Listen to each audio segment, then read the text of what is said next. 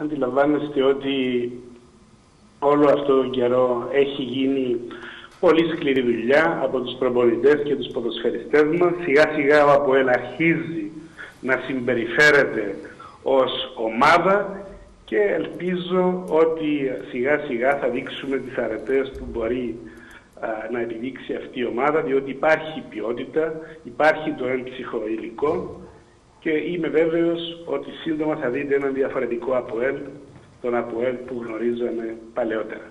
Ο Σοφρόνης Αυγουστή ε, τι και πόσο άλλαξε την ομάδα ε, και όχι μόνο στο αγωνιστικό κομμάτι αλλά και γενικότερα έτσι την ψυχολογία. Ε, γιατί και ο ίδιος χθες ευχαρίστησε τον κόσμο που στάθηκε ουσιαστικά στο πλευρό του στην πίεση που δέχθηκε. Ο Σοφρόνης Αυγουστή αντιλαμβάνεστε ότι παράλαβε μια ομάδα η οποία δεν ήταν δικιά του, δεν έχτισε ο ίδιος αυτή την ομάδα. Βρήκε εκεί έτοιμο το ρόστερ και είχε κληθεί να δουλέψει σε όλα τα επίπεδα και κυρίως στον τομέα της ψυχολογίας γιατί αντιλαμβάνεστε ότι η ομάδα προερχόταν από μια πολύ κακή χρονιά. Α, υπήρχε αυτό το ψυχολογικό θέμα, χάσαμε αρκετά παιχνίδια ή δεν κερδίσαμε κάποια παιχνίδια λόγω του ότι φέραμε, αν θέλετε, αυτές τις παθογένειες από την προηγούμενη χρονιά και εκεί είναι που πόνταρε ο Σοφρόνης, δούλεψε πάρα πάρα πολύ σε αυτό το τομέα και ταυτόχρονα είναι ένας πολύ καλός προπονητής. Έχει αποδείξει τον εαυτό του και τα προηγούμενα χρόνια. Θεωρώ ότι αποτύχει δεν κέρδισε ένα πρωτάθλημα και τώρα του δίνεται η ευκαιρία να το κατακτήσει με το ΑΠΟΕΛ. Λέτε, του δίνεται η ευκαιρία να το κατακτήσει με το ΑΠΟΕΛ. Δηλαδή, ε, το ΑΠΟΕΛ με την εικόνα που παρουσιάζει, με το τι μας έχει δείξει μέχρι στιγμής ε, στους αγωνιστικούς χώρους, πιστεύετε ότι μπορεί να φτάσει στην κατάκτηση του πρωταθλήματος; Όταν είσαι από ΕΛ δεν μπορεί παρά να έχεις ως στόχο την κατάκτηση του πρωταθλήματος. Αυτό είναι δεδομένο.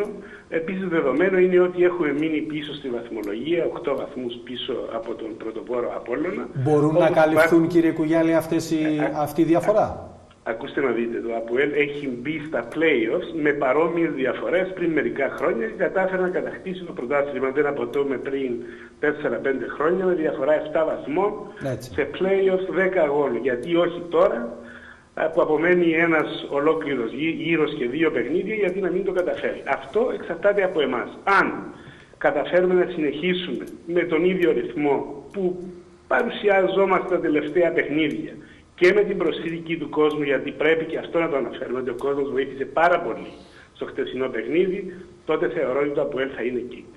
Ναι. Ωραία. Ε, το, το τελευταίο διάστημα ε, ο ΑΠΟΕΛ ζητούσε επίμονα συνάντηση με τον κύριο Μάζης και είχαν γίνει και πάρα πολλά παράπονα και για τον πρόεδρο της Ομοσπονδίας. Ακόμη και μετά τα εκθεσινά ε, μπήκατε σε μία ε, σε ένα καετανάκι ανακοινώσεων με την ΑΕΛ. Ε, υπάρχει κάτι νεότερο που μπορείτε να μας πείτε στα θέματα Κούμα ή στο θέμα μαζί, ε, ε, κύριε Αντιπρόεδρε; Δεν, υπάρχει κάτι νεότερο. Εκείνο όμως που θέλω να πω είναι ότι ε, τα χτεσινά γεγονότα και τα ναι. παράπονα που θέλετε της ΑΕΛ για το ΒΑΡ και τα λοιπά και να ξεκαθαρίσω ότι κανένας παράγοντας του ΑΜΠΟΕΛ δεν υπήρχε στο γήπεδο για να εμποδίσει τον διαιτητή να πάει να κοιτάξει τη φάση δικαιώνουν τον πρόδρομο Μετρίδη και το ΑΠΟΕΛ που ζητούμε, που ζητήσαμε και που ζητούμε ότι πρέπει οι ενδοεπικοινωνίες και τι διαμείβεται μεταξύ του ΒΑΡ και των διαιτητών και του διαιτητή να δημοσιοποιείται πλέον. Αν είχαμε τη δυνατότητα να ακούσουμε τι είχε διαμειφθεί μεταξύ του Βασίλη Δημητρίου και του ανθρώπου που ήταν στο ΒΑΤ, πιθανόν η ΑΕΡ να μην είχε απορία σήμερα γιατί δεν πήγε ο Βασίλης Δημητρίου, όπως πιθανόν και εμείς να μην είχαμε απορία για κάποιες άλλες φάσεις που ε, έχουμε εκφράσει παράπονα στο παρελθόν. Εσείς ξέρετε κύριε Κουγιάλη τι λέξθηκε ανάμεσα στο διαιτητή και στο βαρίστα; Όχι δεν έχω ιδέα, απλά λέω ότι αν γνωρίζαμε αν γνωρίζαμε τι είχε διαμειφθεί και αν γνωρίζαμε τι είχε γίνει και σε προηγούμενα παιχνίδια, πιθανόν και εμείς να μην ε, είχαμε ναι, τα παράπονα που είχαμε. Δημοσιοποίηση διαλόγου. Δια, δημοσιοποίηση διαλόγου αυτό που ζητάτε.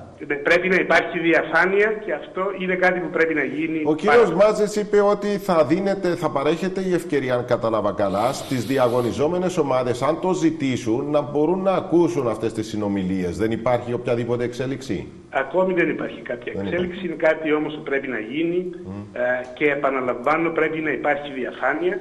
Έχουμε εισαγάγει το ΒΑ για να αν θέλετε να διευκολύνουμε τους διαιτητές μας για να εκμηδενιστούν αν είναι δυνατόν οι αδικίες και τα λάθη στα παιχνίδια και βλέπετε ότι κάθε αγωνιστική, κάποιες ομάδες φωνάζουν, εκφράζουν παράπονο με το ΒΑΡ. Και είναι πραγματικά απαράδεκτο για μένα να υπάρχει το ΒΑΡ, να υπάρχει η δυνατότητα να βλέπουν οι άνθρωποι αυτή τη φάση μια και δύο και τρεις φορές και να κάνουν 7 λεπτά, 8 λεπτά για να ανακαλύψουν αν υπάρχει offside, αν υπάρχει penalty, αν υπάρχει κόκκινη κάρτα. Δεν γίνεται αυτό. Πρέπει να βελτιώσουμε τη λειτουργία του ΒΑΤ, δεν ξέρω πώς, αλλά ένα από τα θέματα που πρέπει άμεσα και που είναι εύκολο να γίνουν είναι η δημοσιοποίηση για λόγους διαφάνειας το τι διαμείβεται μεταξύ διαιτητών και των ανθρώπων που είναι στο βάρο.